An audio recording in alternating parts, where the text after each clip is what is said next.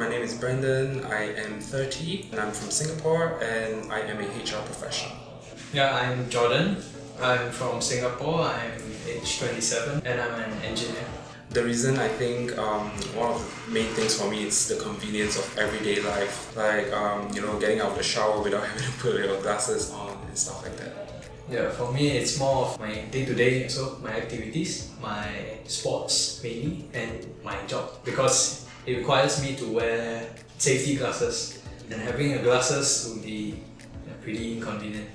Um, I actually did the Google search with Jordan, so we went through a list, and then this was the one that we found. We contacted, which was the we felt like was the best when we actually first came here, of course, we have our interpreter that actually really helped us so much that was making things so great. Yeah, even through the surgery and post surgery, we are taken very well care of.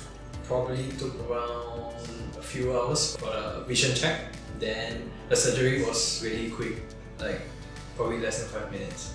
So we got the smile um, LASIK surgery because uh, we felt like it was the most effective one we felt and it, the recovery period as well is really really fast. Mine was negative 2 and 2.25 and right now I'm 20/20 perfect vision.